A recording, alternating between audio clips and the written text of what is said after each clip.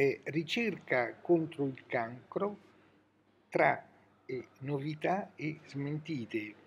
Un, una cara amica mi ha inviato un uh, sorprendente video apparso su YouTube a, a cura di, di uno o due ricercatori italiani e in questo video si parla di una nuova cura contro il cancro e nel video è spiegato bene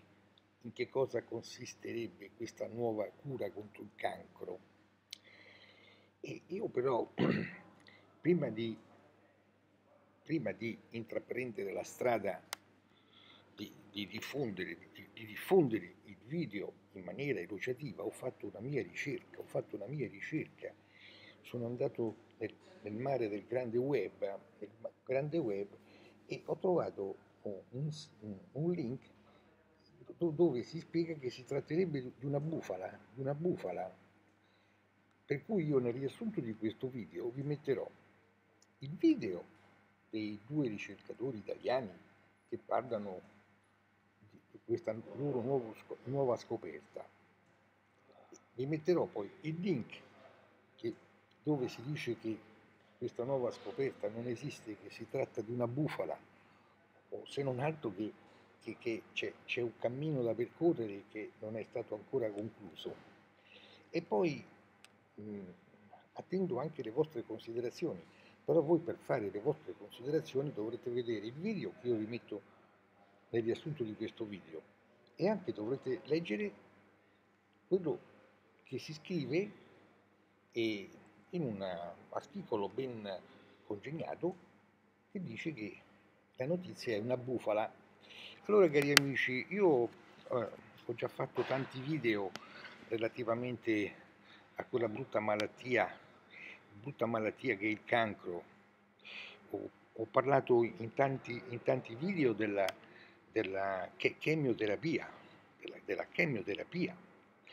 la quale chemioterapia fa guarire, però, però non, non assicura che